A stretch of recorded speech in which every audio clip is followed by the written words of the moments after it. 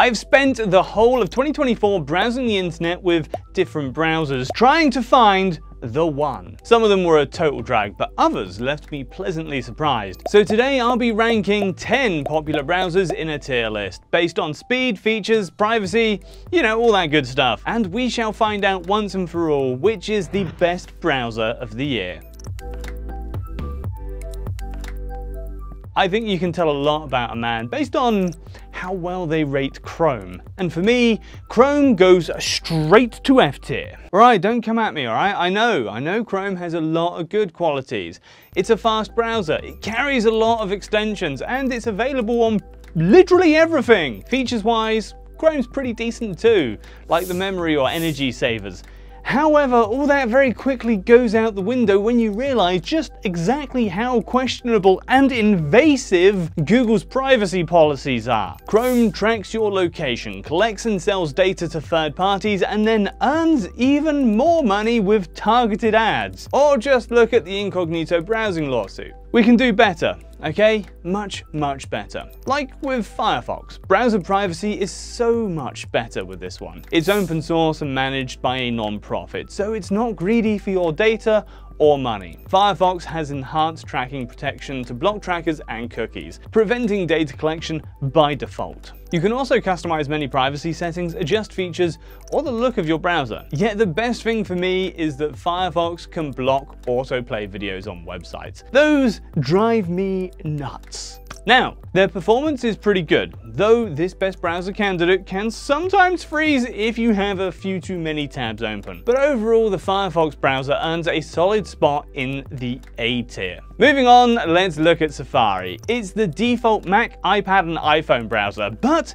is it good? Well, it's simplistic, fast, and uses minimal resources. It also has some cool features like the highlight so that summarizes the key info of web pages, or private relay for greater privacy when browsing. It's kinda like a VPN since it encrypts your traffic and hides your IP, but it only protects traffic from Safari. It doesn't hide your region and does not let you access content abroad. If you want true privacy and content unlocking capabilities, you'll have to combine your browser with VPN software. I'll leave links to my top picks in the description. Now back to Safari. Be aware that it doesn't support as many extensions as some of the other browsers. Also, the fact that Safari is only available for Apple still bugs me. On top of that, it is not open source, so you can't really know what they're doing with your data. That's not ideal, especially since there have been some issues in the past, from Safari hoarding people's deleted browser history to a private mode that wasn't actually private.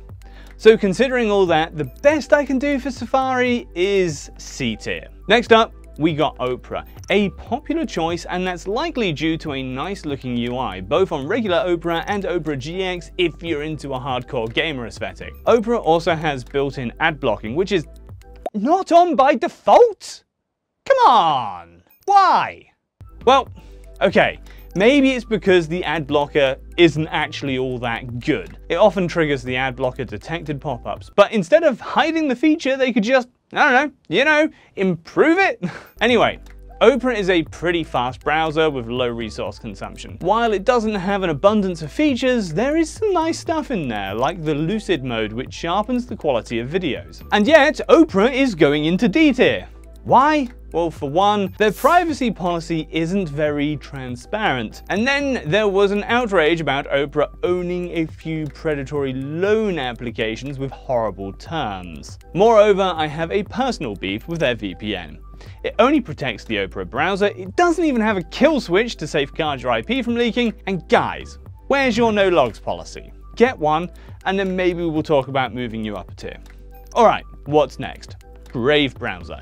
I have done so many reviews and comparisons with this one, and I have to put it in A tier for sure. It's likely the best private browser you can get with enhanced privacy and security features. There's an ad and tracker blocker too, and their own search engine without the bullshit sponsored answers spamming the top of your results. Brave's pretty fast too, so why isn't it S tier you ask? Well, it could have more customization options and I keep noticing some extension limitations. Plus, I don't like Brave BATs. You know, their whole cryptocurrency that you get for watching ads thing.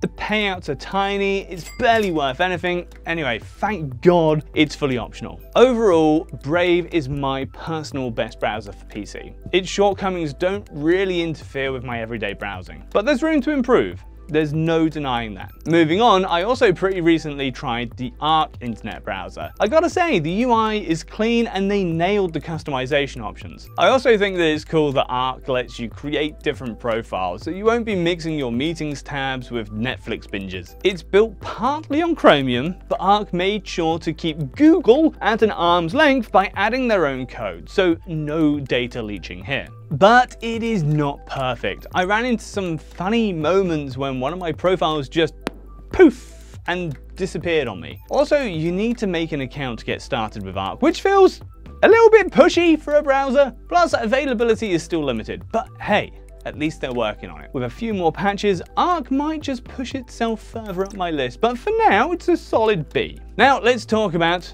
Microsoft Edge. Right, hold on. Hold on. This one's also going into B tier. Alright, if you're already using Microsoft products, Edge integrates pretty smoothly. And I promise, it doesn't induce Internet Explorer lag PTSD. In fact, Edge is quite a fast browser now, but it doesn't exhaust my resources either. Plus, with the Startup Boost feature, it can open faster than you can smash that subscribe button. Go on, try it, I dare you but they seem to be running behind with extensions. Also, while the Edge browser security is solid, the privacy is up for debate. Edge does collect slightly less data than Chrome, and I haven't seen any data scandals from them, but it still belongs to a big corporation. Up next is the Vivaldi browser, and oh boy, this one is a customization lover's dream. You can tweak just about anything. It's like a Build-A-Bear. Well, more like build a browser, but hey. And you don't have to start with maximum features either. You can ease into it and add more stuff as you go. Similarly to Brave, Vivaldi runs on Chromium, but they've done some tinkering to keep the browser private. It's also packed with productivity tools, and of course, there's an ad and tracker blocker already built in. On top of that, Vivaldi remains fast, even when handling all the features. There's one weird thing that bugs me though, and it's the unique ID Vivaldi assigns to users. All right, I get they claim it's used to count users, but like, why? Surely there is a less sus way to do that. But with that aside though, Vivaldi is A tier. And you know what? Maybe even S tier material. Right, I also wanted to introduce you guys to the Zen browser. It's a Firefox fork. One of many. Basically, it has the base of Firefox, but it was tweaked by other developers. Zen remained open source though, and I appreciate the transparency. The browser itself kinda looks like Arc browser, but without any chromium particles hanging around. Performance-wise, it's pretty fast and lightweight, but as it's still in development, you might experience occasional crashes. Oh, and if you are hoping to use this as your new best browser for Android, you are completely out of luck for now. But come on, this project is handled by a one-man army with some contributors. It's a work in progress, and who knows, with some time, it might just level up to B tier. For now, it's going to C. And it is joined by DuckDuckGo.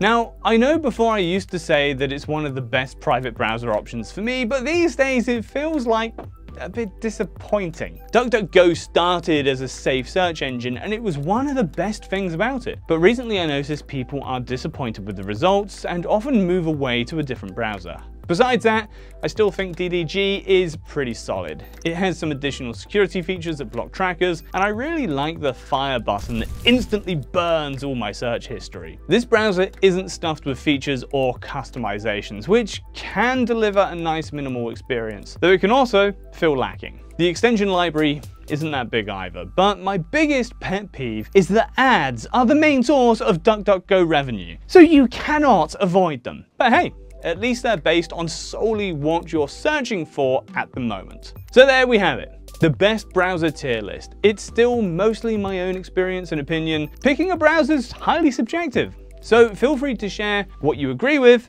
and what you don't agree on. I will meet you in the comments. Thanks for sticking around. Drop a like and subscribe to support the channel. and I will see you in the next one.